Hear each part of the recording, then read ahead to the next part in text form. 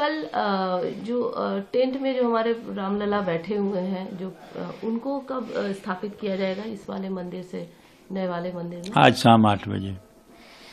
आज शाम आठ बजे के बाद हम्म, आज एकादशी है और इसी एकादशी के मुहूर्त में रामलला को जो टेंट टेंट में ये अस्थायी मंदिर में हैं इनको उस भगवती मंदिर में जहाँ पर यह नई मूर्ति की प्राण प्रतिष्ठा हो रही है उसी जगह ये भी जो पुरानी तेईस दिसंबर उन्नीस सौ उनचास से पूजित है इस प्रतिमा को ही स्थापित किया जाएगा पूजा वहीं शुरू होगी।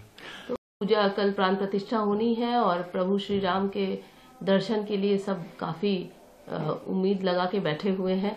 क्या कहेंगे कल का मात्र एक दिन है?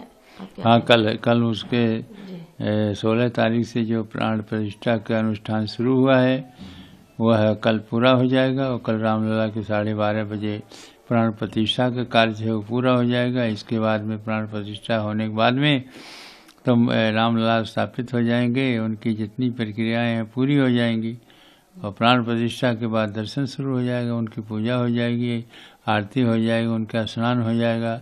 सब कुछ होने के बाद तिलक लगा के उनको सजा दिया जाएगा। उसके बाद उनके जो दर्शन है वो प्रारंभ हो जाएगा।